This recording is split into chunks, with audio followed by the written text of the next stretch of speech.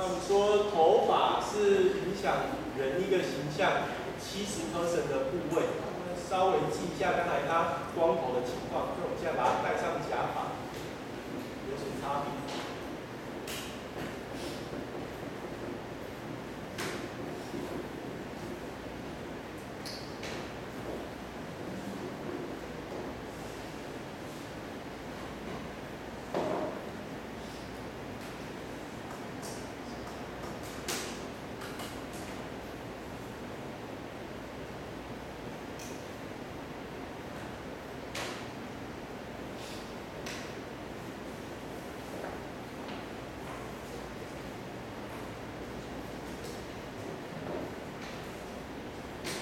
做一个那个韩国的包包。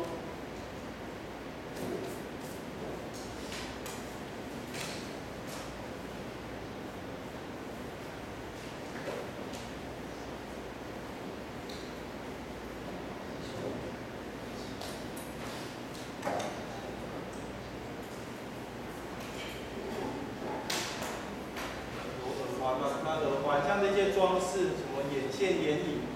耳环、手首饰，这些都是把你的人物的结构定好之后，再去把它加装上去的，那才不会变形。如果你开始就注意首饰啊这些很小的部分，那你大的整体的比例就会跑掉。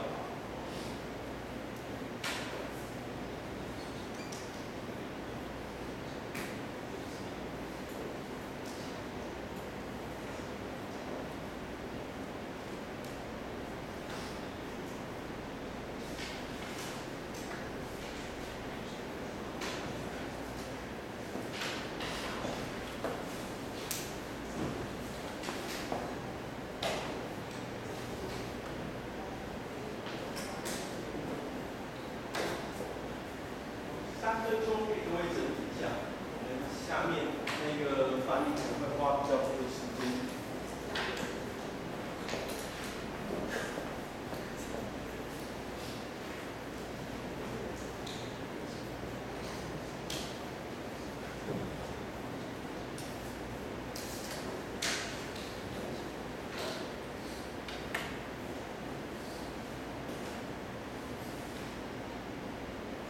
那下一次上课要画头像的水彩，所以你必须要先在你的水彩纸上打好草稿。